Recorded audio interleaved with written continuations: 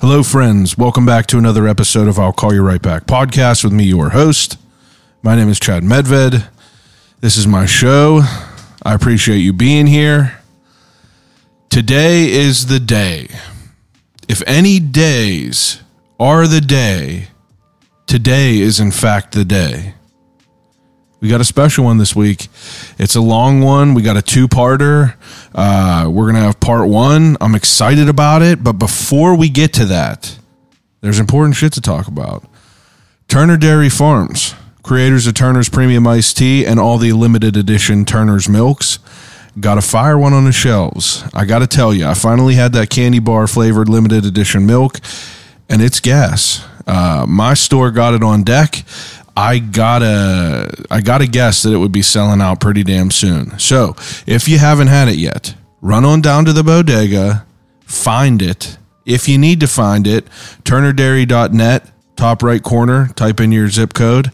Your stores will pop up and then you could find the closest one. And then you get on your little pedal bike and you pedal your ass down there and you go grab yourself an ice cold milk and you chug that thing down and then you pedal your ass back up a hill. Um, Maybe milk and then pedaling bikes might not be the best combination, but you know what I mean. Go grab yourself a Turner's. Uh, the important things that we're talking about this week, the reason that everyone is here this week, uh, like I said, special episode, uh, two parter. I'm going to give you a little taste this week. So uh, don't hate me for it because, you know, this is just a little taste. This week I sit down with Stephen Jaskulski. He is a Pittsburgh local who currently lives over in Venice. And, uh, he is a painter, artist, all around great, interesting human being, and uh, someone that I've been following along with for a few years now. You know, I, I I don't know how I came across his work. I don't know who put it in front of me, but for the last few, I don't know, probably five, six years, I've been following along with Jazz's work, and uh, he is. I mean, it's crazy how far he's came in a handful of years. Tell you that. Um, like I said, a painter, fantastic. I don't even know how to describe his work. Uh, you just have to go to his Instagram at S T E P H E N J A S K U L S K I at Stephen Jaskulski, and uh, you could check out the work that he does and the type of painting that he does. Um, but I've been waiting for him to come back to Pittsburgh to get him in the studio, and uh, you know, I just I'm a fan of his work. I really am. He's he's grown to be one of my favorite, and uh, I just I was excited to get him in here and talking to him because you know he he ended up having a real real wild story. You know, like something that I couldn't even I couldn't even guess what he was going to tell me. It turns out he was going to he was trying to become a you know his his dream in life was to become a professional baseball player, and then some crazy shit happened, and he ended up being you know a professional painter and a pretty damn good one, if I do say so myself. And uh, here's his story. You know, I don't want to speak it for him. I want you to listen to it and uh, hear him tell it because, uh, you know, it's a great episode. So without further ado, episode 218 of I'll Call You Right Back podcast with Stephen Jaskulski.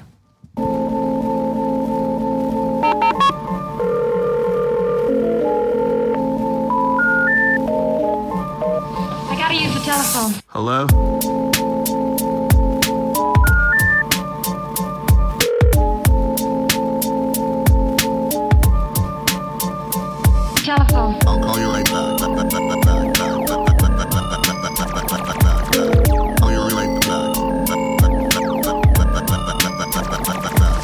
I'll Call You Right Back podcast.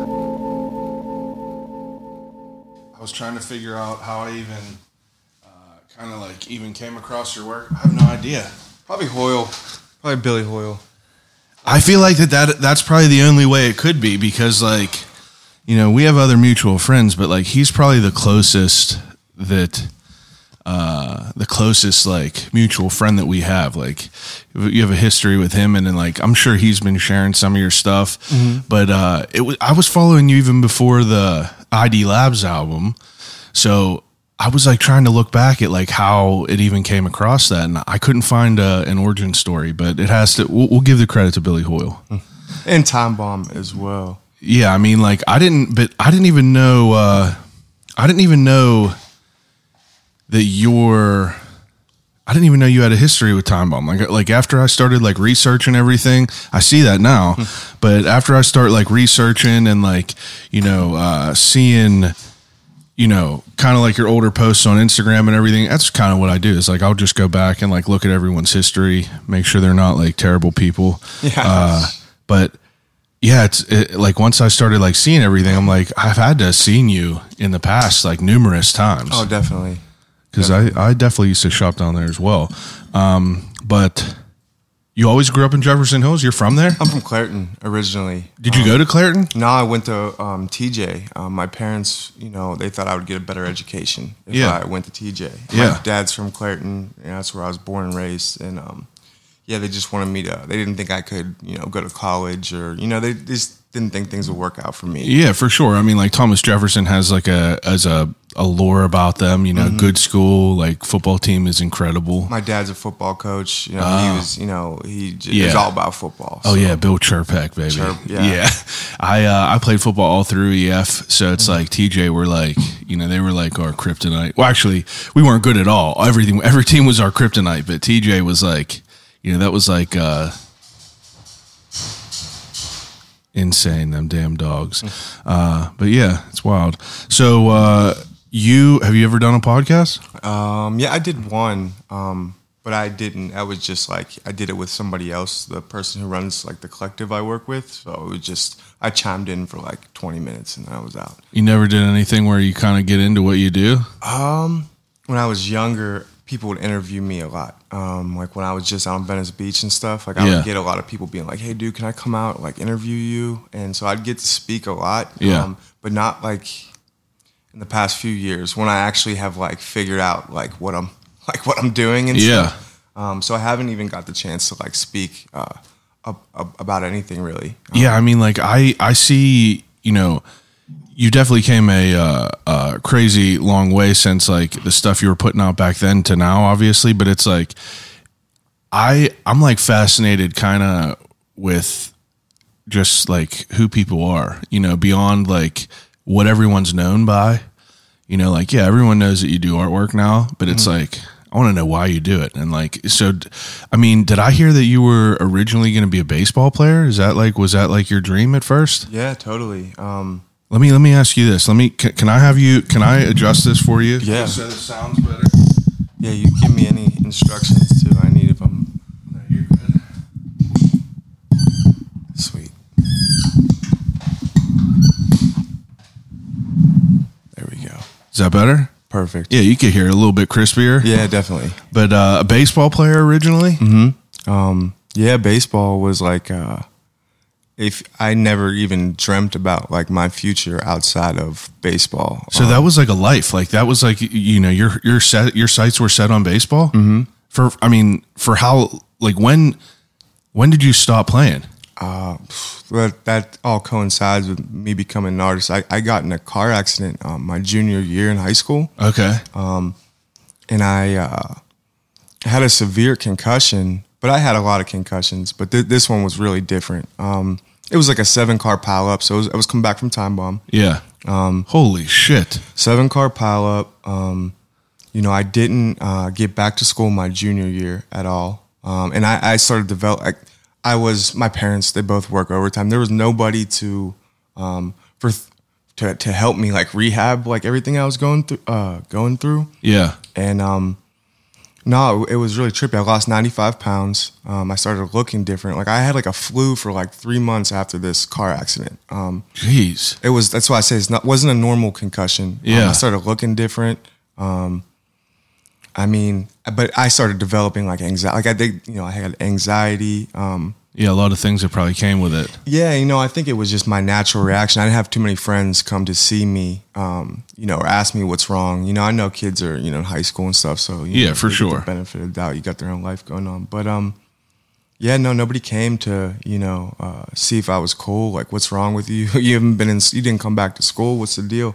And so I was uh, a little thrown off by uh, everything. So I think, you know, that was it for me for baseball. Um, But but it was like up until your your junior years, So like when you were junior. playing pretty crazy. and then uh, it, it's it's a confusing timeline. And then like the senior year, I was cool to come back, but I was struggling in school. Like Yeah. I couldn't go into the cafeteria, Yeah. and like look at the kids because I was like, whoa, like these dudes aren't my friends and stuff. You know, I just didn't want to. Yeah, you had a period of time in life where it's like, you know, there was like uh, a line in in that moment, and it's like no one ever walked across that line. So you're like, you know, fuck these people. Yeah, it was kind of like, um, why do I got to be here? Um, you know, uh, and and I was just feeling different. I I didn't realize that teachers find out if you have something going on like anxiety. They see Yeah. that anxiety, ADHD, All this um, stuff. all this stuff. Yeah, and um, No, I'm not trying to like take away from like you know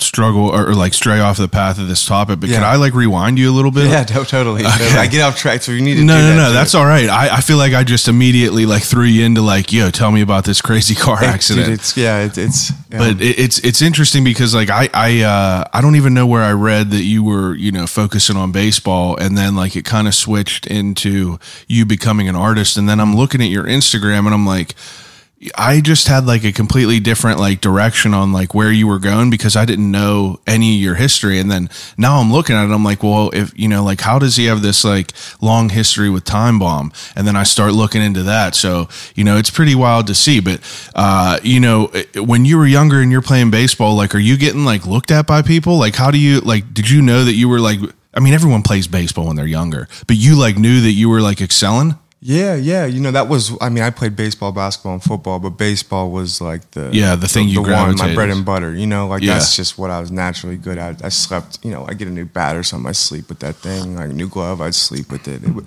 every single day, I had my dad taking me out to to work. You know, just to practice. Um, Yeah. every day. Uh, I loved it, dude. I loved practice just as much. I loved playing. Um, yeah, everything about because I was a pitcher, man. So I get to control Ah. Everything. You know, I, I control. you all know, starts with you yeah, it all starts with me, and it's like a just chess game, man. It's like addicting because you know you you know you're trying to get in their head. You're trying to be a step ahead of the hitter. You got to manage the game. You got to manage your emotions. It's a good set you up for life type of thing. You know. Absolutely, it's a rare. You know, there's a rare. It's it's rare to be able to like do that and do it well. Yeah, and I, so I, I was I was a good player. Um, I would say I was good. You know, I, and I figured uh, like my dad's football coach was Jack Zduriencik, the general manager of uh, the Mariners. Really? So I was like, um, you know, maybe if I'm good, you know, one day this dude will throw some scouts my way. Yeah, yeah, uh, yeah. But um, I didn't get the just because all this stuff that happened in high school. I never got a chance. Like I always played these travel baseball teams. A lot of my friends are in the pros Yeah. and stuff. Um, you know, so you know, I didn't get a chance to even show. Yeah, like, what I, you really I didn't even get the like the the good stuff. You know, where I go out and prove myself. Um, Yeah. So that was that was a, a bummer, but it's not, it wasn't about that. I just like I just like the game, man. So Absolutely. um, yeah, it's, yeah, it's I- interesting because everyone is a young kid. You know, that's like one of the like the default sports that people play, and it's like everyone plays a year or two of t-ball and then baseball, Right. And then you know some people stray away from it. It's like my dad coached for like I think like 15 years. My brother played forever, but like I only played up until like you know it must have been like Mustang or something like that, Mm-hmm. and uh, then I just went to football because I'm just a big dude, but it's interesting like the culture of baseball you know it's like the pirates are a good thing to speak to it's like we haven't won a, we haven't won in a long time but people are still like living and breathing for it it's just Right. america's pastime Yeah, and and it's just uh, you know, it's it's a relaxing game too. I mean, it's it's just you, it's it's great to go to the ballpark and just it's the it's to me it's the most like just peaceful thing to watch. You know, I love football games too, but that's Yeah. a whole different. You go to the ballpark, it's you know, um,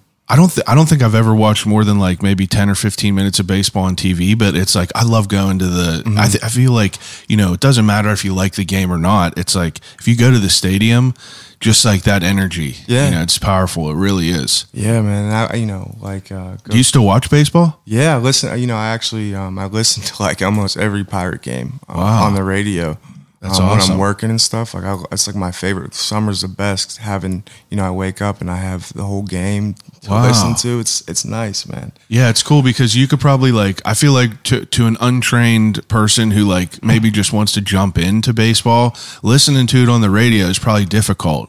you know, but you know, someone who has that like insider like kind of experience with it, it's probably just like, you know, yeah, it's it's sick. Yeah, it's a cool thing to like because now you know I, the same way I feel for baseball, I feel for painting. You know, it's attacking something every day, all practice every single day. So it's like um having my old love, like you know, having that there with me when I'm painting. It's like the best thing, man. One addiction and one passion turns to another. right. And uh, so yeah, dude, baseball's still a big part of uh, my life, and I, I still love it. I go out there and, and play good right now. I could Yeah. go, you know, I could I could still pitch right I now. play once a uh, I play once a year on a uh, softball benefit tournament, and like you know, you get that itch, and like I'm trash. I gotta tell you, I'm terrible. But it's like you know, you catch a ball. It's like I put on a baseball glove. I just put my baseball glove in the in the uh, garage right there because it was just sitting back there. But it's fun. You know, I love it. It's it's definitely a fun time.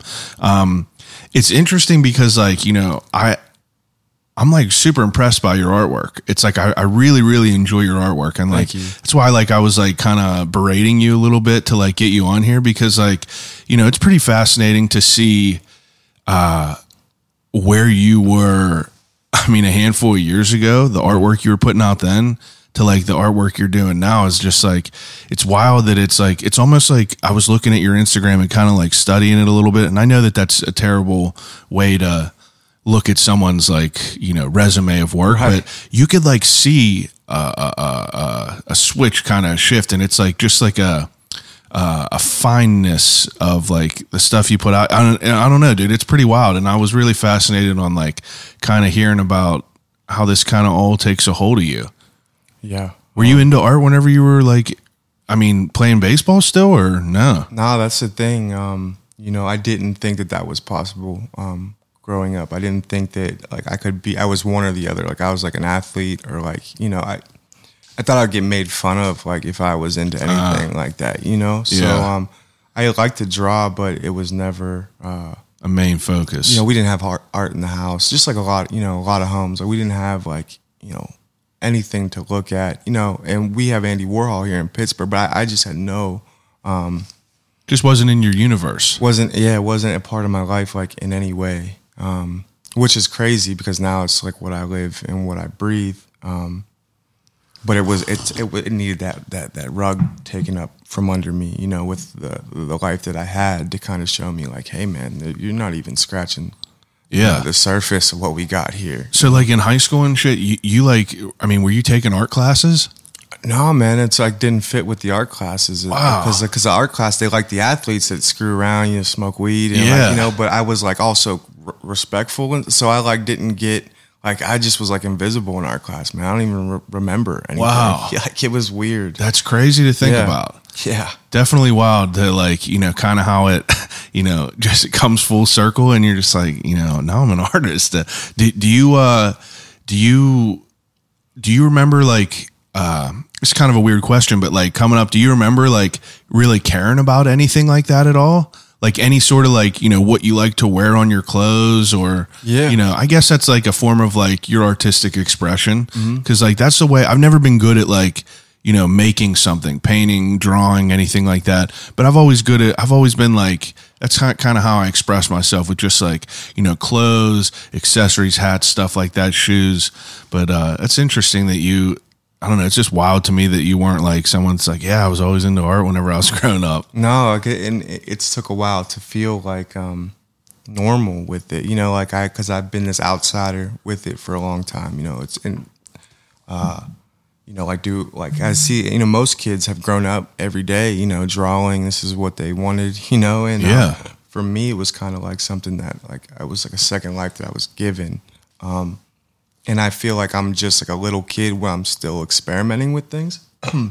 but you know, it's my job too, which is a trip, you know, and I'm pretty deep into it. Now it's been like my job for like seven years, but most of those years have been just me, like almost in like a, literally at the beginning, like how kids, you know, start to experiment with shit, you know? So it's been, Yeah. it's been really a trip. Um, Now, I mean, I, I'm I'm I'm terrible at interrupting and like kind of just taking you on a different tangent. So I apologize ahead of time, and I apologize for any sort of like gross comparisons that I make. no, but don't, I'm not, I'm, it's hard for me to do it. Now, whenever you you know you got in this this you got in this wreck, you mm-hmm. know, and and kind of changes your life. You don't Right. go back to school your junior year, and then you know, like, are are you physically like, are you physically like balled up, or was it more of just like a mental thing that you were dealing with? To be honest with you, man, I was really messed up. Um, I was like really messed up because, uh, like I said, it was like this flu for three months, and like I was like, what do you mean, like a flu? Like you were having throwing like up all day, like um, just nauseous all day, like throwing up all Oh, everything. I couldn't keep food down, like I couldn't. Um,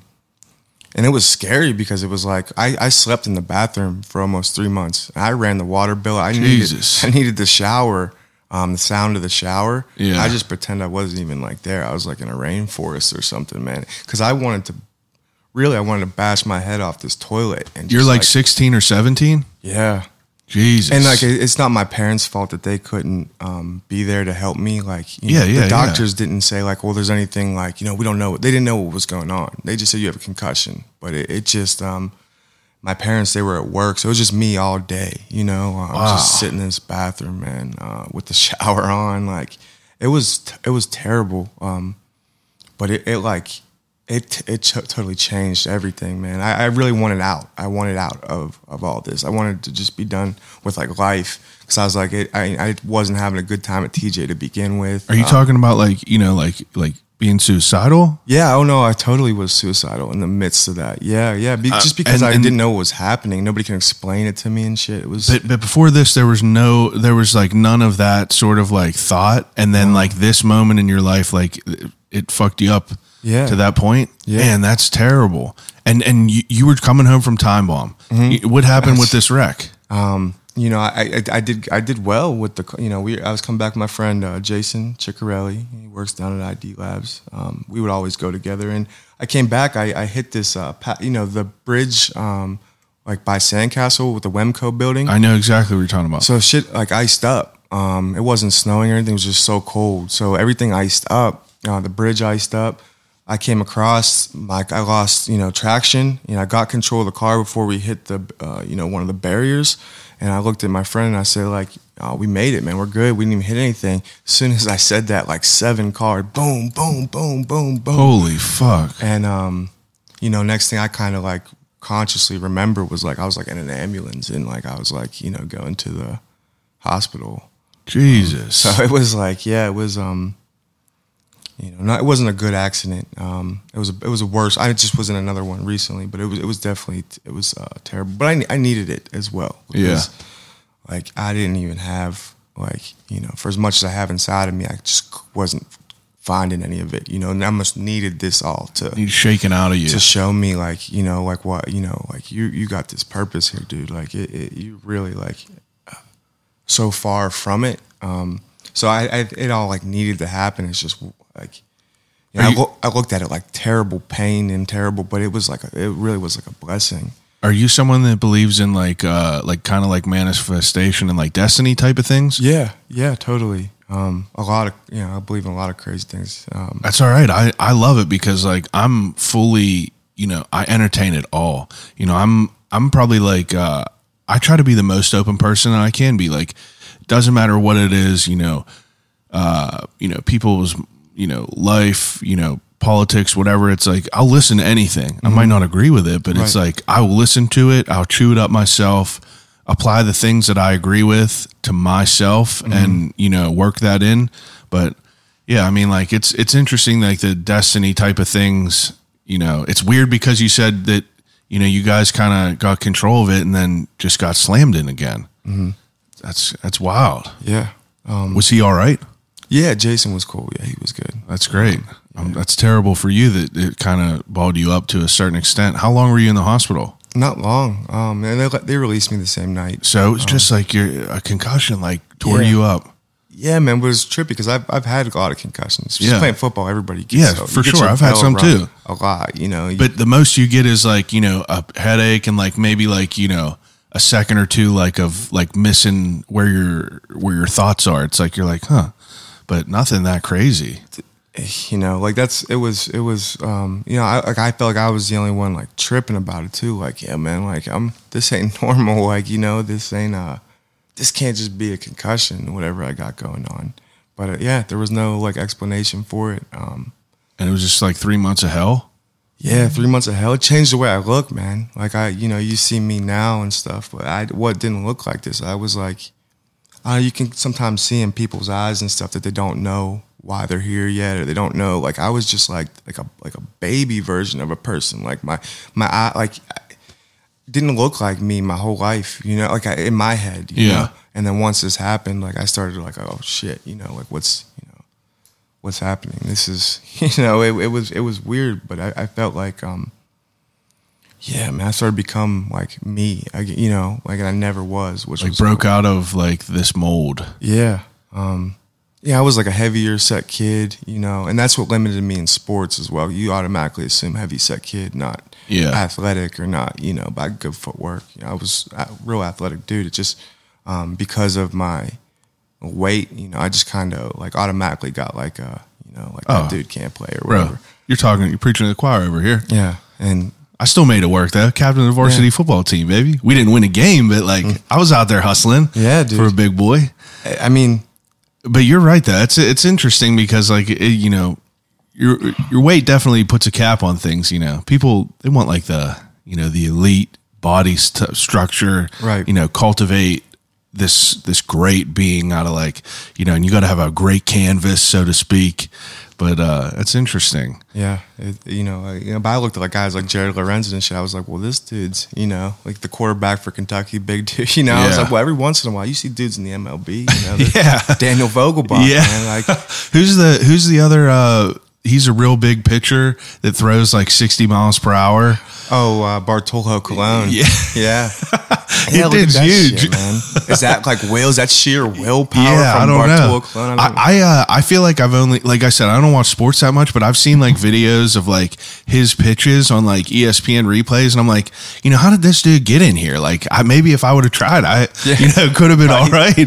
But then that's taken away a lot from that guy. That Mm-hmm. dude probably smoked me in a race at any day of the week. But uh, now three months for you to like go through all this like you know terror and everything, trying to like not really figure it. It's like, does it get to a point where that like you know every day you're just sick puking is there does it get to a point where that stops Um, yeah, it did stop. You know, uh, it did stop, and then I started to like do my own rehab uh, for baseball and everything. Like I started to run in the mornings because I wasn't cleared for physical anything. but Yeah. I started to get up and go run in the morning. I'd go to the basketball court with my tee, bucket of baseballs. I hit off the tee every day. yeah Um, so after I started like, you know, um, getting back on my feet and being like, I never was cleared again for my, I couldn't pass an impact test. No matter what I did, I couldn't pass my impact test. wow Um, so it was like I started rehabbing myself because I was like, I got to get back, you know, I got to get back into like, you know, I got to swing the bat, you know, I got to do all this. fight weight baby Right. And, and, you know, um,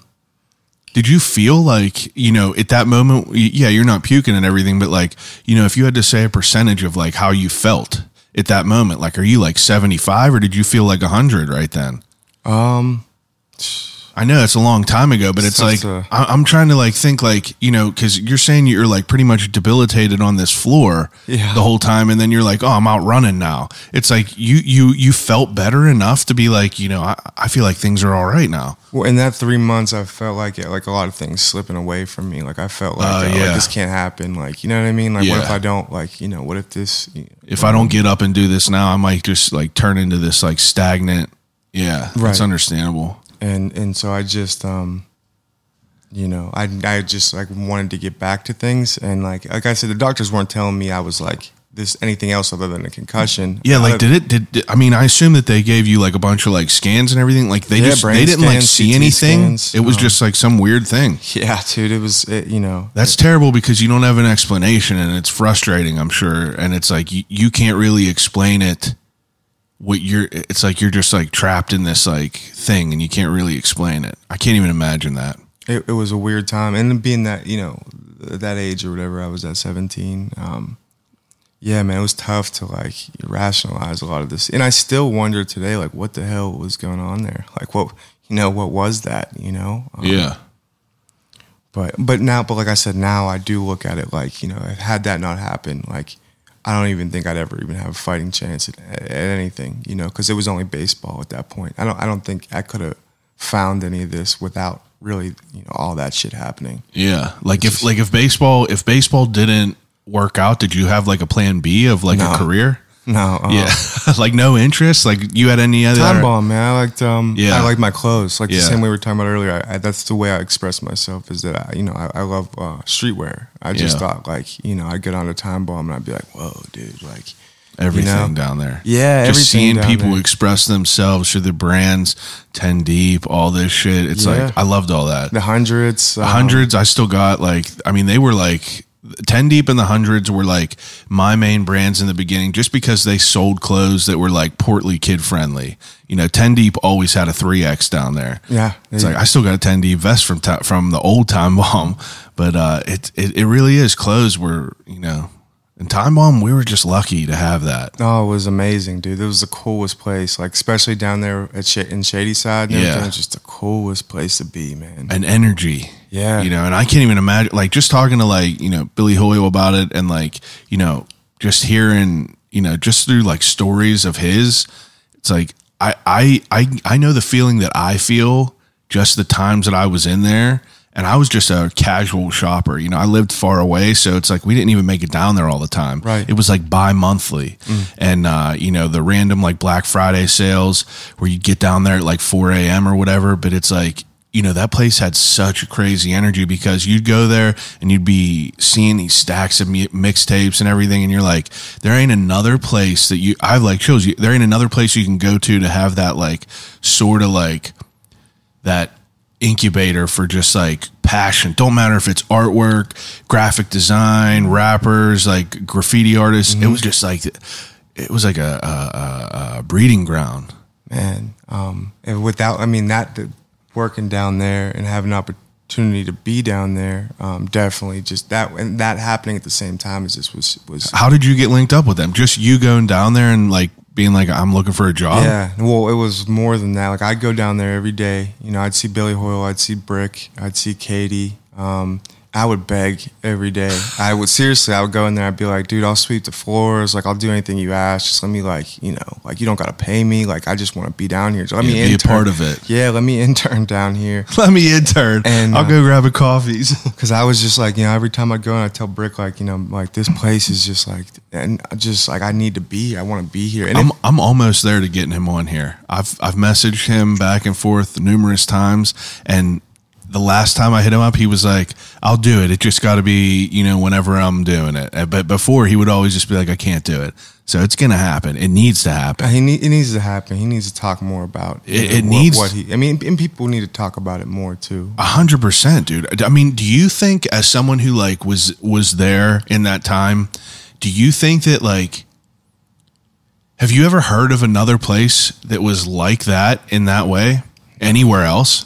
No, I Even mean- in different states, really? I know in L.A., you know, they always had Fairfax. They had La Tierra. Yeah, but- but you know, like, and some of those stores on Fairfax would kind of like take me back to like I'll be like, oh, okay, like I feel like I'm in the old Timebomb here. And, Yeah. Uh, but there just wasn't that like personal thing either. You know, like those stores are very like everything in LA is very. It's not. I'm. It's unpersonal. you know? Yeah, it's all saturated over there. It's like there's a lot more like you know big fish out there, so to speak. But like here, it's like it, it was wild because you saw like the people that were like making some shit shake. Like that's where they wanted to be around, and like you could tell that. You could tell where they're you know real recognize real. That's really what it is. and and you know and you know knowing that Mac you know was always down there Wiz come through there Brick was always pushing their Yeah. tapes and um like Boaz BD, the BD, 58s, the know. 58s man uh, Chevy Woods All of them.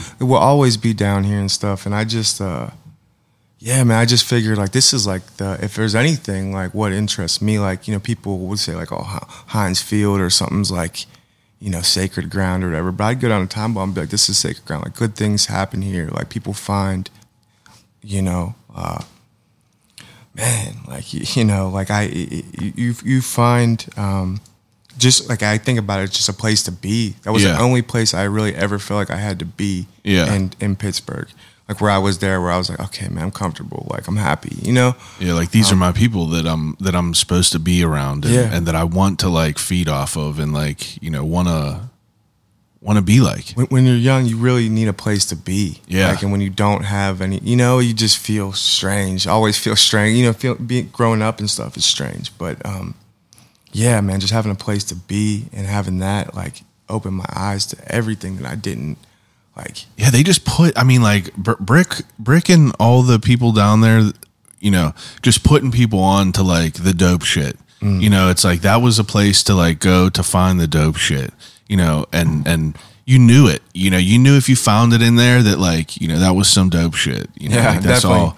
That, that that that that was all right. You know, and and there was such a variety of it. That's what was so cool because because like I didn't wear the same shit that my friends wore. Like I was a big dude, so I wasn't wearing skinny jeans and like you know that type of like you know that type of style like i i needed like i couldn't be wearing slim fit tees and Yeah. shit you know it's just like you know it was husky kid friendly down there that's why it was also a good place to just be so i mean after you're berating them and asking them for internships you know do you finally like get let in Yeah, I don't know how. I don't remember exactly how it happened. I know Brick eventually said, "All right, come down here and like sweep the floors." You know, like you can, you know, and uh, and when you know when he finally and Bill, you know, Billy Hoyle too was Yeah. a big part of that too. how old are you 28 tw- I'm gonna be 28. Yeah, next month.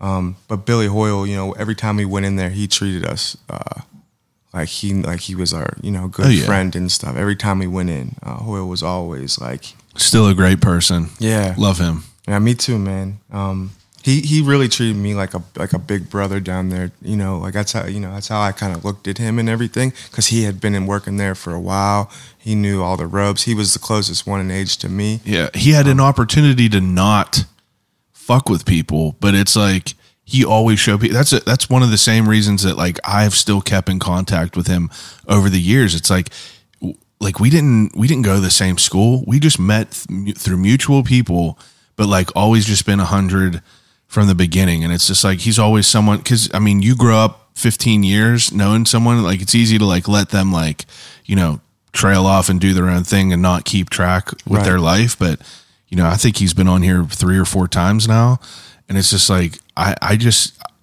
he's always been so respectful and i've never seen him be a dick to people or anything like that and it was always just great energy so it was always just important to keep in touch with him He's he's a really good dude, man. Um, Billy Hoyle was awesome. Yeah, I, I I just missed him in L.A. and I felt really bad about it. He was just out there with jams. He's Yeah. been doing a bunch of stuff, and I and I love that dude too. Um, I haven't met him yet, but I like that they're working together. They're a sweet. I mean, Combo. out of 200 and I think you're about to be two, 218, he was probably one of the most nervous I was to interview Jams just because I didn't know him and like, you know, I didn't, I wasn't familiar with his music, but, uh, it's one of the ones I'm most proud of because like it really like threw me out of my element because like, you know, I'm not like a crazy, crazy hip hop head. Like I listen to the fucking regular shit. You know, I listen to what's on the radio and shit, but it's like he's like someone who is uh, underground to the point where you know you got to kind of know your shit and i just want to always come correct to people and like give people's like passions like the same respect that they give them themselves and like i just don't want to just do some bullshit and like give them a fake ass fluff interview but it was a good one for sure Yeah, no, that's cool. You got to do you know work with him. I think he's gonna have be, be real successful, dude. I mean, I just Grinds. from when he started working with Hoyle, I started keeping up with him a lot more. He reached out to me about maybe getting a piece or something. And uh, yeah yeah, no, I like sticking with. I like following him because, I, like I said, I like them as a combo. Yeah. and uh, he's motivating too He's it's mo- like he's always grinding yeah, and it's cool because he knows a lot of the same. I think I know so many kids through the internet and stuff in Chicago. you Yeah. know, good painters, um, you know, good rappers. Well, you know, a lot of talented kids come from Chicago. yeah and he's like connected to all of them and stuff. So like you almost see the like the uh, what is that brand? A half evil. oh yeah i got a bunch of their shit So like I you know I I I know like I follow the you know we follow each other on Instagram, the half evil dudes and Yeah. stuff on and Twitter and everything, and um you know just over the past couple years I've been seeing like oh shit you know you know that you know the world gets definitely a lot smaller and um yeah I I, I hope I get to meet him soon. Uh, yeah, he's Jams is dope. good people for sure Yeah, Hoyle too, man. It's great to see him pursuing everything the way he is, attacking everything now. I, you know, Yeah, uh, it's just cool to see people still like grinding and shit, and like really like you know like sharpening their sword and not like you mm-hmm. know kind of like taking things lightly. Because so when did you know if you're working in Timebomb like you know probably when what you're 18 whatever 19 mm-hmm. and it's like when does I, I saw like you know as you're working in Timebomb i know you're doing a lot of photos. I know you're like you know just doing that type of like work. You know you're just you know you're working down there. I see you're doing work with people like uh homegrown like homegrown outfitters. Yeah, Those they dudes were, gave us a bunch of yeah like stuff, those dudes yeah. were cool. I knew them real well. And like you know it was just like it's cool to see all them pictures because it was just like it's nostalgic. You know even the clothes you're wearing you're wearing like pittsburgh made shit. And it's just like i remember Pittsburgh. seeing that all in there. Yeah. it's definitely wild. But it's like you know in this time are you doing artwork when does that come into play So, so I wanted to, I wanted to get spray cans, right? I wanted to, I wanted to write because I, you know, I'm selling, you know, caps to all these graffiti artists come Yeah. into the shop and stuff, and you know, I'm meeting these dudes, and I'm like, these dudes are just, they don't give a shit about anything. These graffiti artists, like, really, like, come in and slam a bunch of change on the. On the counter, you know, like, oh, you know, I need, I need to two fats. I need, to, you know, and they come Yeah. in. I'd be like, okay, I like these dudes, and I so I wanted to start writing, but Brick would never let me buy cans, um, which was crazy. He actually kept giving me these Rebel8 black books, and he was like, "You want to, you want to write, you want to, you know, you want to make something, use the black book." He said because he, he didn't want me to get fines. He didn't want the graffiti, Yeah. you know, you know. And especially I didn't know what I was doing, so he would just give me these black books. So in Timebomb, that's where I started, like you know, all the, and I was inspired by Mike Giant, and, you know, and Rebel8 and all their stuff, and so like just having the black book and like yeah, that was my first really digging into drawing and stuff, and uh, yeah, he just I and I only had that because I, I just kept bugging him for cans and stuff. He was like, you can't, you know, he's like, I don't know if they're gone, you know what I mean, and uh, so I- you know, I- the black book, I started drawing really for the first time and stuff, and having like you know, I'd fill the whole book out, man, and I just you know, you were just another one. immediately enjoying it Yeah. Hmm. Yeah, I would sit down there and I'd draw a lot, you know, and I wasn't very good, you know, so I was just like, okay, I got to, you know, next one, next one, Yeah. next one. And um are you just you're writing like you know tags and shit like that or are you yeah, drawing I was anything trying else to. Yeah, I wanted to be. Yeah, I wanted to. Uh, I want. I think it was like Daboo or something. Yeah. It was like some strange shit that I was writing. I don't know. if I saw it in a movie or something. I was like Daboo. That's cool. Um, but yeah, well, you know, I wanted to go out and just uh, bomb walls. My my good friend Tony Duff, photographer, I did all this work with. He was like the be- one of the best writers in this city at like 17 years old. He racked up seven thousand dollars in graffiti task force fines. Couldn't leave the. But this, but I spent so much time with Tony Duff. And he was like a genius, like you know, like t- taking like this kid is a artistic genius. yeah right now And- he does video games and shit right yeah, he does streaming and stuff. now. Yeah. yeah. But believe it or not, he was he is one of the illest graffiti writers, uh, you know, I've ever met in my whole life, and he's also one of the best photographers I've ever met. Yeah, just the best eye, man. Like for composition, for wow he was yeah. that's wild He was just a little kid, man, young, you know, super young dude, like going out by himself. Like it, it, he was, you know, when I saw when I saw when I met him, I was like, oh shit, dude, this dude's like, you know, I spent so much time with him too. He, I credit him a lot. With Yeah, I saw you had a lot of photos and stuff with his work. Like he took a lot of photos of you and everything. Yeah, he just used me for his, you Yeah. know, like to stand, and we would get close. You know, sometimes homegrown would throw us stuff, Yeah. or you know, and we would go shoot it. I wouldn't say I was good for that necessarily. No, yeah, but, you were a person him- there. Yeah, just seeing him, you know, and his i- bring his ideas to life every day was like awesome. One of the best times of my life. You guys are taking photos and everything. Like now, what happens? You know, while you're working there, it's like how does that kind of progress into you moving to California to be an artist?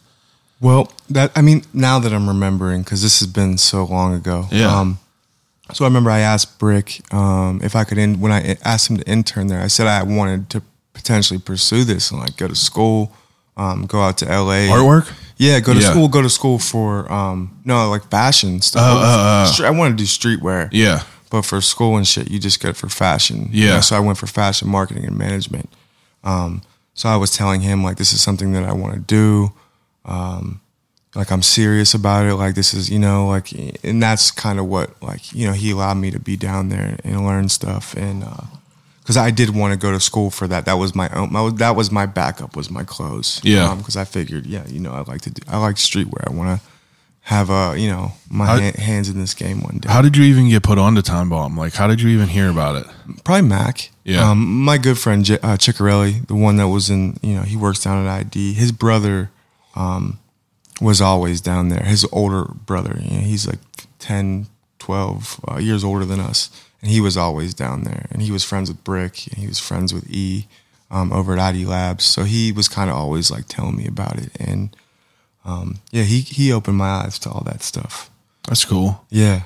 And and you like your pursuit to go to school for fashion? Did that happen? Yeah, it did. It was strange. That was a strange. Um, Where'd you go to school? the Art Institute um, in California, um, in- of Santa Monica. Did it? Does it have as bad as a reputation as the one in Pittsburgh? You know, it's not even open anymore, so maybe it did. Yeah. um, yeah, they're, they're not open anymore. I think that that school. I've, closed I've probably talked to maybe 20 people on here that have went to the Art Institute in Pittsburgh that have said I've never heard one positive thing about it. Uh, but and you you said you had a weird experience. That's why I even asked that. Yeah, it was strange. It put me in a because because like I said, I went there for streetwear. Yeah. and I wanted to do streetwear. Um, but I'm watching like you know my classes. I'm watching four hour you know Valentino movies. Lady Valentino working with Lady Gaga. Mm. Yeah. and they got me drawing like flats, like women's flats, Yeah. like shoes and dresses and shit. You know, and all my projects were like revolved around like Dipset or something. You know, it would Yeah. be like some. You know, it would be like some totally off the wall shit Yeah. compared to what they had me doing Yeah. um, you know, so like they would all be going to like Bloomingdale's and Nordstrom and saying what they got, and I'd be like, yeah, well, I just I just went down to Fairfax and like and I saw they had the, you know, I my shit was so like just different from what everyone different. else. I was like the only dude in the class, like any of the people were more going towards like high end fashion. high end fashion. Yeah. Yeah, And, and now it's funny because I'm sure that they in the, these courses, I'm sure a Incorporate, huge yeah, gotta part be. of everything now. But when I was trying to do it, it was like everybody was kind of looking. Even the teachers were kind of like, Yeah, what "Dude, is this kinda like, 2000 and f- 2015 maybe 2014. 2014 yeah. and Yeah, I mean, I guess that would be so weird to think about that now as far as like the fashion, you know, the education because streetwear was like such like a weird underground type thing that was just kind of like word of mouth. Right. Because even before social media, it's like the only reason I even knew about brands like the hundreds or like, you know, 10 deep or like, you know, uh, you know, all them people is just through like rappers or like, you know, skateboarding was a huge thing. And uh it's I don't know, it's weird. That's weird to think about that. Cause now, like you said, it gotta be a crazy big focus. yeah, because now it's such a different thing. You know, now Oh, yeah. now it's so like you know, high fashion is streetwear. Now, did you feel like that you kind of didn't have like the resources that you needed because like obviously the instructors are like, you know, they're doing more of the high end things of it Yeah. all, right? Yeah, they, they didn't even make me present my stuff or anything because like you That's know, 'cause They kind of got that like I like I was confused like why I'm you know why I'm here and It's but, crazy. but I got to meet Karl Kani. They brought him in right. Ah. You know, um, cross colors. Yeah. Um, you know, he had Big and Tupac wearing his stuff at the same time throughout Yeah, the beef that's and everything. So Karl Kani comes in, and so I'm like, well, this, you know, what the hell? You know, I'm, Yeah. I'm trying. You know, I'm, it's like a foreign language. I'm talking about streetwear, and we're gonna bring Karl Kani in. Wow. And, um, you get to meet him. So uh, it was confusing, you know, because. Uh, yeah, like, but they, they didn't make me present my stuff. Like, they didn't make because it was just so different than everybody else's. How And I- long? Go ahead. no, you go ahead. How long did you end up going there?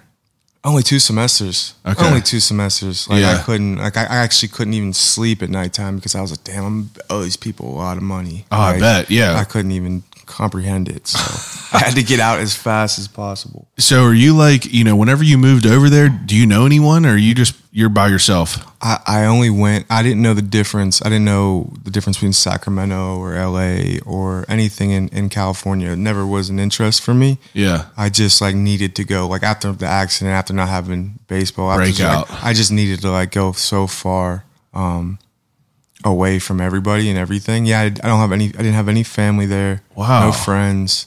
And like you move into the art institute, like are you staying in like a dorm room there? Yeah, I was staying at um like they had like these um you know apartments that were like third party student housing because Yeah. they don't have dorms, and uh, they put me in there. I had like a 25 year old roommate, two 24 year old roommates, and I was 18.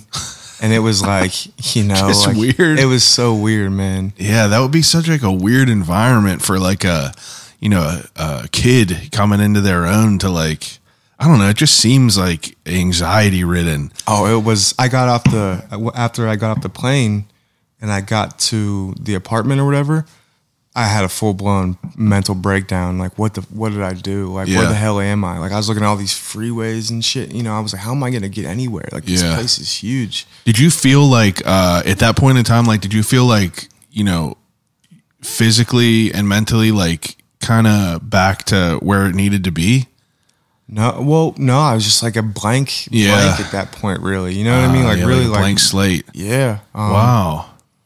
You know, I don't like to throw that like NPC term around. You know, because No, but for real, like a it really seems like it. Re- it it was like a reset, like Yeah. a like a like a, a life reset for you. I mean, obviously, it was if you know your main focus was you know baseball your whole life, and then you're just like you know fuck it, I'm gonna go and you know just kind of cast this line out here and kind of see what happens. yeah. That's And- dope that you did that though, because like you got to have balls to do stuff like that. It, it was like something that pu- I mean I can't even now looking back can't believe I made that decision by myself like my you know I I, I researched like you know the school I researched everything because What are your parents thinking at this time? oh they were tripping because they were like you can't you can't go out there Yeah, because um, the first thing I think of is like you know, uh, and I'm terrible if I'm like making this assumption, but it's like a coaching type of father. You know, there's no career with art. No no definitely not Is that like kind of the through line that they carried? yeah um yeah well they they in, in that and uh, they, you know they didn't they were unsure why I was going for fashion like they and they, I was kind of like confused why I was going for fashion as well Yeah, um, but that was the only program to do what I wanted to do. And then um, just to California, they were like, just they were like, why, like, why do you want to go to California? Like, why do you want to, like, yeah, man, my, it was definitely tough for them because I just brought it up out of the blue. Yeah. know, I just started doing my own research and was like, I gotta get hmm. out of here. I was gonna go to Hawaii, but then I was like, that's another. Yeah. It's not even on the continent, so like, I Yeah. you know, that's a little. That's a little bit too far. I Can't removed. drive back if I had to or get a bus or Yeah. something. So you know, If I need to get back, this is going to be way more difficult. yeah. Uh, now, you know, two semesters go by and you jump out of that school. It's like obviously you're not staying in them dorms anymore, right? No, actually, I it, you know I moved back um, for a few months. I Here? came, I came back here to Pittsburgh for a few months, and I think I went back down to Timebomb. Uh, you know, I was down there for a few more months, and um, eventually I went back out to LA, and I tried with my friends, uh, Ciccarelli and another friend I had out in LA. We all got an apartment downtown, so that was like my second try. You know, in the same year, but I had to come back because. Um, like my apartment was only through the school, Yeah. and you know, and I just didn't have the the resources to even go. Like, Yeah. try to figure. I didn't even know how to get another apartment at that point. Um, so I had to come back and refigure shit out. Yeah, because it was a failed attempt or whatever. It was like didn't work out for me. Um, so I came back, regrouped, and then went back out there and, and then failed again. Um, only lasted six months. The, the second time, had to get out of our lease.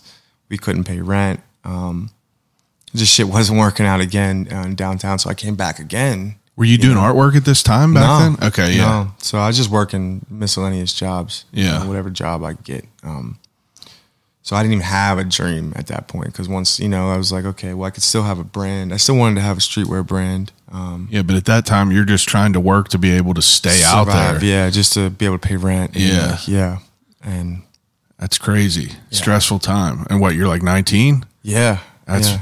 that's insane. Yeah, and we lived in a crazy. We lived in Pico Union downtown, so we we, you know, we had tons of chickens in the yard and shit. Every, you know, it's like I mean, we there's like more people living in two square miles of Pico Union than there is in the city of Pittsburgh. Jesus. They have just people like just Packed in. on top of each other. Yeah, man, it's crazy. It was right off Hoover Street. Um, you know, uh, it was called South Bonnie Brae, and uh, all these really cool Victorian style houses. Yeah. that were like um, like Squirrel Hill or something. Beautiful old houses, but half the street was like you couldn't go down there. It was um, uh, there was these you know gangs and shit out there, but there was young kids. So Yeah. the lady that rented to us, she was like, they're young, like they're trying to earn stripes and shit. Like you don't go. Come around Hoover, walk, never walk down this end of the street. Yeah. I mean, you see like kids riding their bikes around and shit. So it, it, it was That's pretty wild. Yeah, we saw. Um, you know, that was an eye opener too. To to live in downtown LA is crazy. I bet it would be. Yeah. I'm not a I'm I can't do a city. Like I had to I lived over right in Ingram, which is like 10 minutes out of the city, but then I just had to get out a little bit. I need a little bit of like space. I need a little bit of like, you know, I'm removed enough now, like 25 minutes out of the city or so, where I could like be away and not have to like. I just like I like quiet. You Peace, know? man. Yeah, I like peace. I like peace. important. But it, it's it's I don't know. It's interesting. I feel like whenever you're younger and you're going through this, it's it's a uh, it's a useful time more than anything because like you're learning kind of what you don't want to do, what you what position you don't want to be in, and like you know, I don't know. That's interesting. So you said you made it six months again. Six months. That only. second time, Yep. You came back here I came back here again. Yeah. and you moved back in with your parents. I moved back in with my parents. What are their thoughts at this? You're like, oh, my son is like doing this art and it's not working. I mean, they didn't tell me. They probably were just like, "Damn, what is he doing?" You know Yeah. what I mean? Like, he, go, he keeps trying to go out there. It's But like- they weren't like forcing you to like do some like you know like like you, you still had the opportunity to kind of like find yourself. yeah, That's great. yeah. I actually came back from that time, you know, and I've been out there for about a year now. And I came back, and this, these, these this team asked me if I wanted to go. Uh, they need a pitcher or whatever, so I actually like went up to Morgantown. Wow. And through like six innings, like gave up like one run, like had like Jesus. seven strikeouts. I couldn't move for like a week after. I was gonna say, how long has it been? how long of a time period in between a pitching has it, It was been? a while, man. It was like a long time, you know. And I was just like, you know, living a weird life out Yeah. there, you know, like smoking a bunch of weed. You're you not. I'm, I'm. I assume you're not like you know pitching out there at all. No, no, no baseball, no sports, no athletic, no athleticism, Yeah. whatever, no running, no exercise. And you just come back in and they toss Yeah, I was you like, in? shit, I can pitch. Yeah. Wow. And How was- fast were you throwing? I never threw that hard. Yeah. Um, you know, if I if I'm lucky, I you know You just had like the 80s. control over it. Yeah, I just I just hit my spots. Yeah. good breaking pitches, natural movement, good breaking ball. That's cool. Um, wow. So one time you played up there? Yeah, well, I, I always played up in Morgantown when I was younger, but yeah, when I came back, you know, they just yeah, I just went and you know pitched a game just to see if I could do it too, Yeah. and just uh, it was great. It was like my last hurrah with Yeah. baseball. You know, it was You're cool. like, I came out on top. I'm gonna just stop here. You know, we'll be good. Like, yeah, that's pretty. That's pretty sick. So what happens after that? um, back to Timebomb. Yeah. I think you know I went back down there. Um, And like, when does like you know when does artwork really come into play? well, you know, uh, with the t- with what was happening at Timebomb, I think this time around was Brick was moving locations. Yeah, Um, to Garfield. to Garfield, right? And uh, we were going up there, and, and I remember you know him being like sad about the old store. And, and What everything. year did that happen?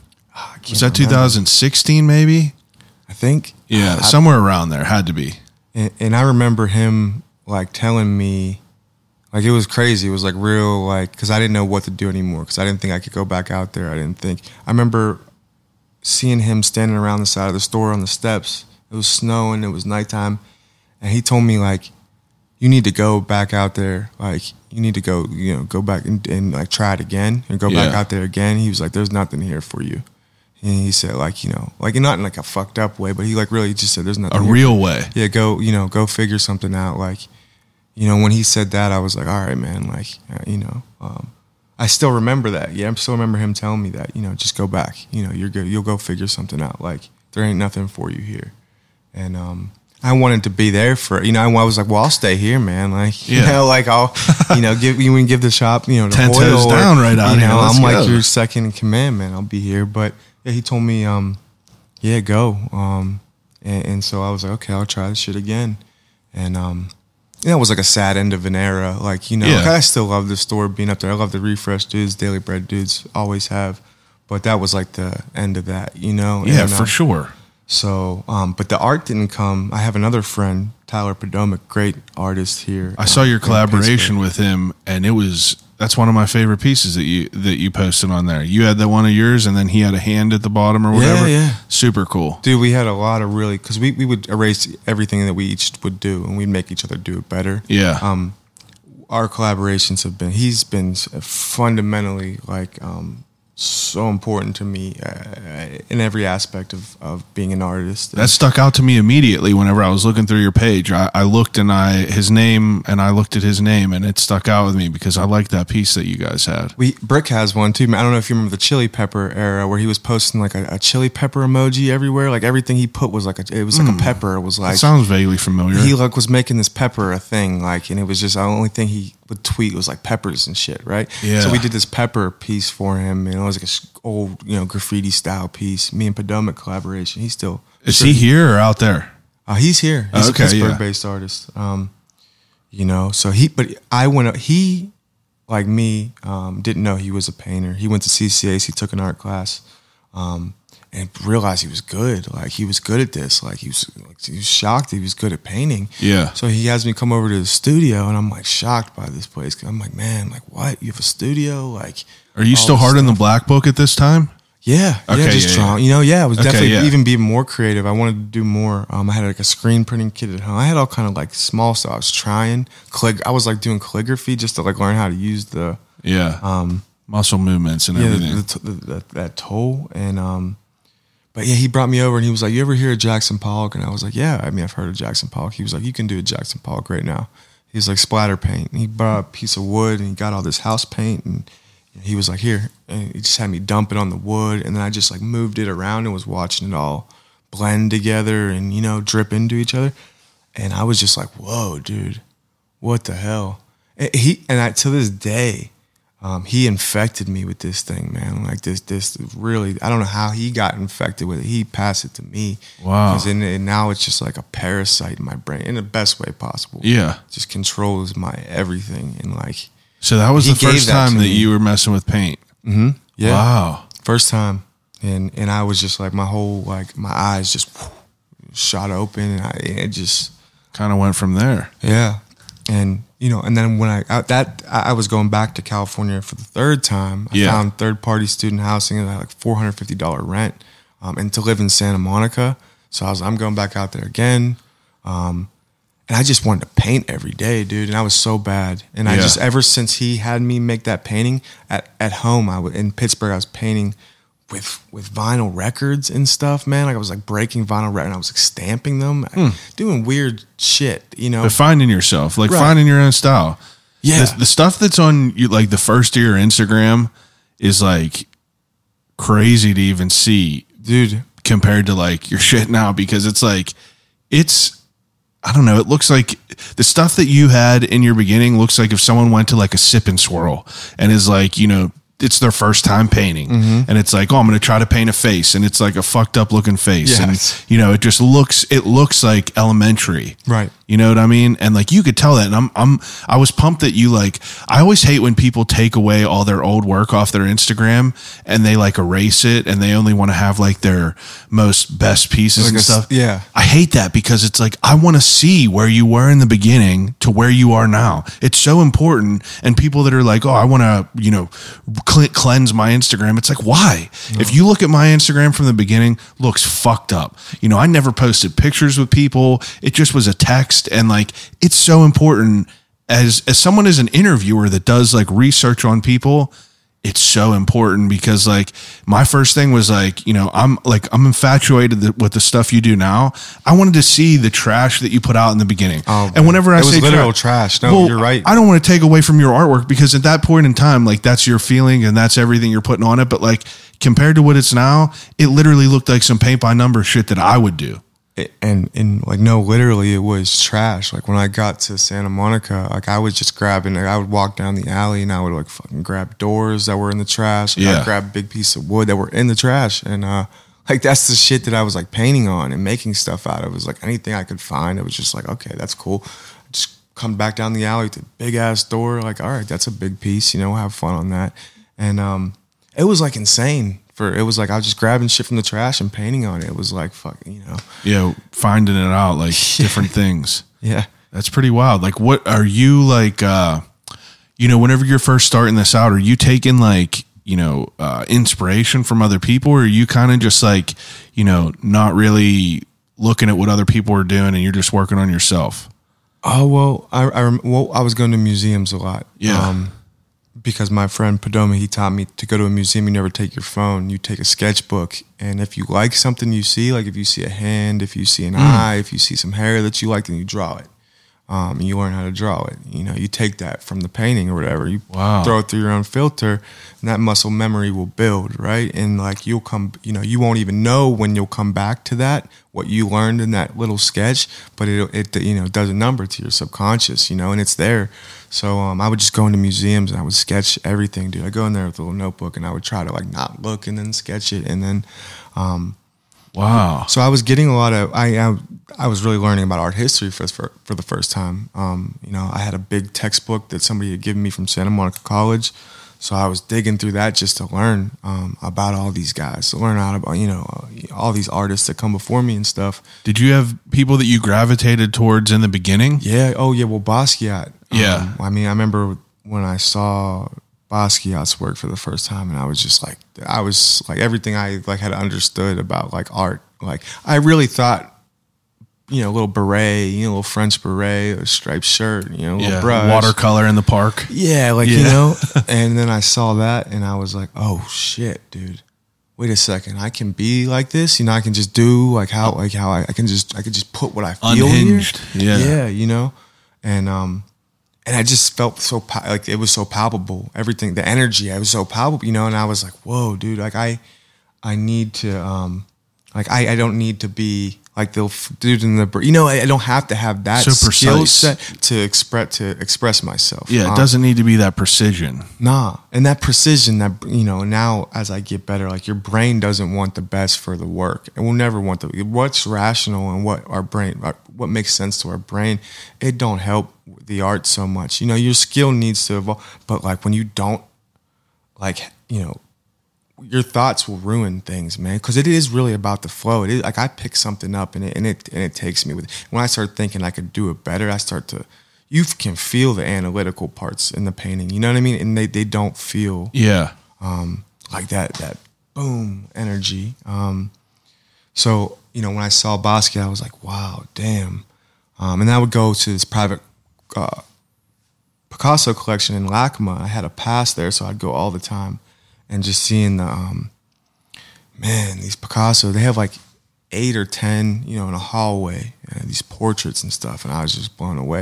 And I used to walk up, I'd be like, okay, he used oil like oil stick here, like he, you know, he used a brush here, he hit it with like house paint here. You know, I try to like figure out how these dudes laid these Like layers. reverse engineer it. Yeah, like um, It's wh- so wild that like you like started painting just by like you know your boy having you come over and just pour shit on there, and then you get like you know because it I, from what you're telling me, I don't gather it was a long time in between your first time of painting and you going back out there looking at all these Picassos, but like the way that you speak about it, like, oh, I'm looking at like how he's painting it on there, what type of thing it is. It's wild that like your brain kind of just like clicked into place as as to be a, a student of art rather than just like an athlete. It's like like you said, you change one addiction to another. Like I'm sure you were the same way with baseball. Like how could I throw this curveball? How could I mm-hmm. throw this changeup? Like looking at things like that. But it's it's cool to hear you talk about it as like you know being an experienced, a more experienced artist now. To hear you talk about the way that you were like conceptualizing your approach to you first starting it out and like how you're looking at these paintings by these like you know these amazing artists and like what you're gathering and taking away from them and like what your boy said about like never taking your phone in there and sketching it kind of is like you know it gives me i've chills right now just thinking about that again because like i feel like that that's such like a powerful thing to be said and like that's dope Yeah, and Very dope. I still am like I stick with that because I so much of the stuff he taught me like in the beginning is just like things I like literally live by. It's what I when I, when I give lessons and I help younger artists now. Like I, I, it's the same thing. Like that'll be ingrained in my. That's like my core values as an artist. Whatever he, what advice he gave me back then. You know. Yeah. Those those you know. Um, like that was such a great thing for me, and I still won't ever take the phone into the museum. Yeah, that's so sick. I really, really like that. But you, you, so you're looking at all these like you know these Picasso pieces and like trying to, I guess, take like apply those fundamentals to your work. Yeah. Oh yeah. Um, you know, just seeing like the cu- the cubism was this this flow that was natural for me. Yeah. Um, like the dissection of it, and that, that's really the root of it. Whether it's you know Basquiat, whether it's George Condo, whether it's Cy Twombly, you know, all these dudes have different, um, like complete different bodies of work, right? But like what it really comes down to, um, what these dudes come down to is dissection um, and and constantly editing something, right? Yeah. And your brain doesn't want to keep dissecting something; it wants realism, like it wants it to be all there. But then the, the whole like breaking it down, breaking it down more, breaking it down more. It really is like a dissection of whatever you're painting, whatever it is, and it's con- and you constantly are going back and you're changing it. You're taking layers away. Um, so these dudes all make different art, but that's what it was um, for me. It's just like. Uh, you know, I can keep going over this. Like I can keep, you know, leave a little bit and just build these layers up. And uh, so I would, um, you know, I guess like I would see the cubism as like the perfect way to dissect something, you know, to break it down into each individual shape. And um, so that that you know, the Picasso's helped me so much with, uh, you know, but you still see all the influences in me in my work. You still see all these guys that I those those times where I went to the museum and those ones that stuck with me. You still see all that in my work. It's helping me figure out really where I am, where I what I want to express. Um, I'm not there yet. Still, like you see all these guys' stuff in my, you know, but it, this is a long, long, long, long yeah, you, I mean, you're very young at this. Compared, like, I mean, people have been painting their entire lives, No, and like, yeah. I mean, you've been what five years now, six Seven- years, seven. seven years. Yeah. You said, yeah, and um, no, six and a half years. Um, yeah, no, you're a young, um, you're a young artist. You're a young artist in the art world is 35 years old. About you know, so like I'm Yeah. not even like there yet. That's what I mean. Like, I feel like you know, just as someone following along with you, it's like you really are like, you know, it's like hitting its stride now. It's like I, I as someone just like looking at your work, um, I, like I could see like different style, uh, not style, but like things that you incorporate that were like like one of my favorite pieces you did was a pressure cooker one. Oh, yeah. it's like I love those so much. Like and like this one right here, it's like it's like this. Yeah. it's like I love I love like all the colors and things like that. But it, it, I don't know. It's it, it seems uh, like much more. Uh,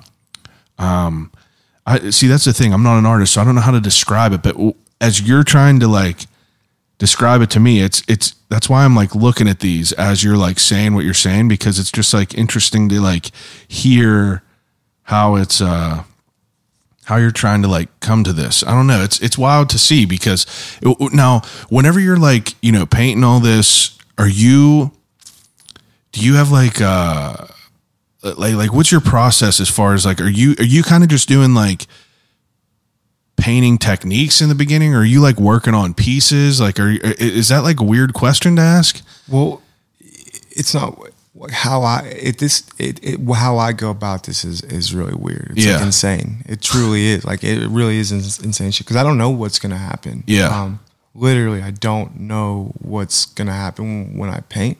And that's how it really was at the beginning. You know, as I get better, I have different control. I can flip, you know, flip composition. I can flip things to have a you know better idea where I'm going with it. Um, but in the beginning, man, it's just like I, I don't don't even think about it really. I just like you know, were I just, going and fucking seeing what happened Yeah, just and that was like the raw that raw like because I you know I go blank man when I'm working for the most part you know like I'm thinking about like how you know I'm thinking about like my life. Like I'm thinking about like you know like a lot of stuff. Like it gets dark gets real dark gets like you know and then it also becomes like magical and shit too.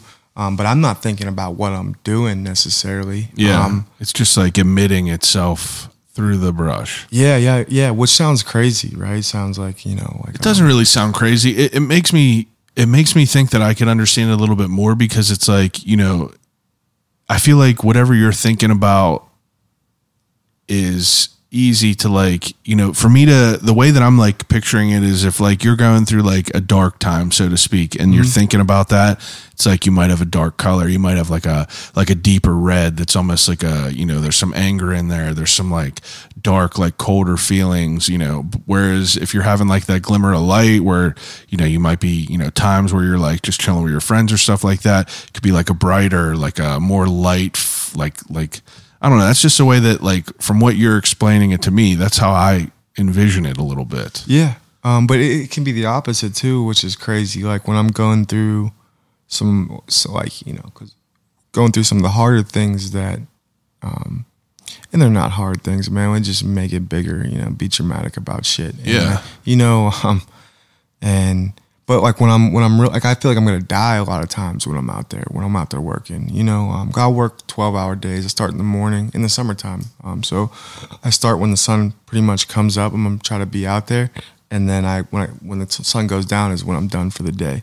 And like that whole time, I might feel like I'm like dying or something, man, which is crazy. Like I'm, you know, my head's telling me, um, I'm not gonna be around long. I'm not gonna be, you know what I mean? You're going too fast. Like you, you know, all this stuff. Um, Like a constant critique in your mind. yeah, like you know, this is like your tragedy, but it's also like you know, like your mark, like you know, and it's like all this, you know, shit like that will go through my head, like, and I'll make it a real big deal.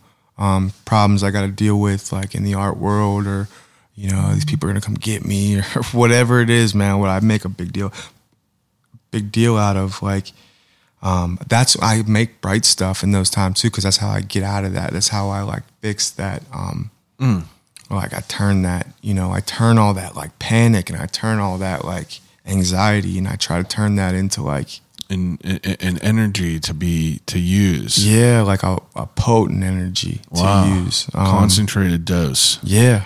Um, and that you know those ones you know sometimes they are dark and they'll have mu- more muted colors and stuff, but sometimes they'll just be bright and they'll be like electric. You know what I mean? Yeah, it's wild. and because I gotta dig in there and get it somehow. Like I got to, like especially in those times where I'm feeling like I might die today. Like it, it, it's it's so insane. That's so when I say it to you now, it sounds insane, but Yeah, it really does feel like that. Like this could be it. Like, and that's how I do approach what I'm doing. Like I, this does matter so much to me. This is everything that I. I this is why I'm here. Yeah. So look at this piece right now is the last one, It gotta- and I'm and at the end of the day, I'm out of here. Like it's got to mean something, right? And it's got to. Hmm. I got to breathe the life into it. It can't be. Some fake ass shit. It's like it got to be real. Yeah, because I don't know if I get to do this again. Like I don't know, you know what I'm saying? This and, and when the grand scheme of this is something I'm I'm, I'm leaving behind. It just it's got to be real because it's got to it's it, it's supposed to be here. It's supposed to do something for somebody, even when you know I'm not or whatever. So, um, you know, yeah, I you know I I'll be in dark places, but I try to deliver this thing to people. I try to change that. Um, Yeah. and I and then, it's like the tool for when they're feeling like that. That's like their hope through it too. You know, and there's no like That's all right. it's no like um you know i don't know how to describe it but uh That's all right. Now, your your mindset, like in the beginning, whenever you're doing this artwork, like, you know, h- how does it how does it go from you, you know, like when you're out there and you're you're saying you're grabbing this trash and you're just painting, Mm-hmm. you know, is your mindset like I just have to put in hours and time out there? You know, is This- that all you were doing? Is just painting? well i think it started with like this is something i need to do Yeah. um to be okay. Like this is something i need to do to iron out my problems. This is how i can like alleviate um, some of the trauma. Like and this is how i can see like almost gauge where i'm actually at because we go through so many things. The trauma is really affecting us subconsciously. We don't think about it but it's there. Yeah. So like it, I was like, okay, this is helping me like gauge like how messed up I am, and so at, at the beginning it was never about a career. Um, That's what that's more what I was getting at is like in the beginning like are, your mindset like did you have this mindset that you were going to make this a career or was this just therapeutic in the beginning? it was therapeutic in the beginning. Yeah. Um, it was just about expressing myself. It was just about getting all this stuff, and that's why a lot of it. at The beginning was like dark, like dark, real dark color on on trash. You know, dark colors. Like, um, a lot of that was like the like the throw up of like you know like literally like Yeah, getting the poison out like yeah, Yeah. like you know getting the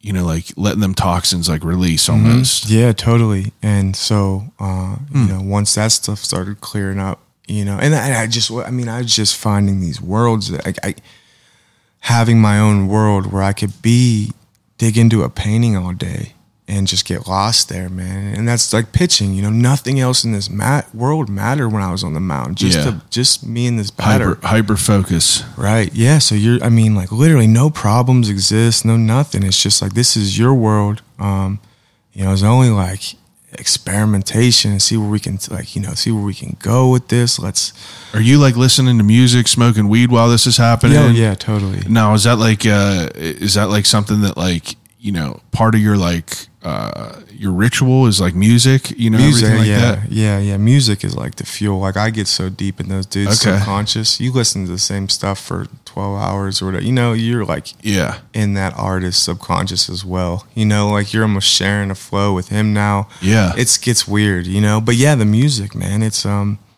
they give to me, you know, I hope I give something that gives back to them. What they put out affects people on a greater scale. Yeah. So I see it as like this like go hand in hand thing, you know, inspire the musician. Um, the musician inspires me. You know, we give that back, and what we're doing is helping people, and you know, uh, in the long run. But music has everything. Um, Wow. I, I need to paint in silence sometimes too. Um, but I just, you know, music just helps me catch these flows and these grooves, man. And I don't even, you know, Yeah. I was just like floating. That makes sense. Makes sense. That's interesting. Now, you in the beginning, while you're still like kind of developing like your style and getting all this like raw shit out in the beginning, it's like, when does that like transition happen where you're like, you know, where it ends up being a potential to be a career? So, um, Like, how far into that? Only a few weeks, honestly. Yeah. Um, only a few weeks. Um, I was working at the Cheesecake Factory. Um, I took acid for the first time. First time ever? First time ever.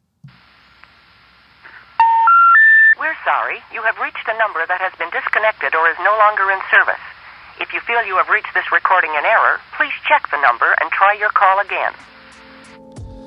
All right. Thank you for listening to part one with Stephen Jaskulski. You could finish up listening to part two next Thursday. See you then.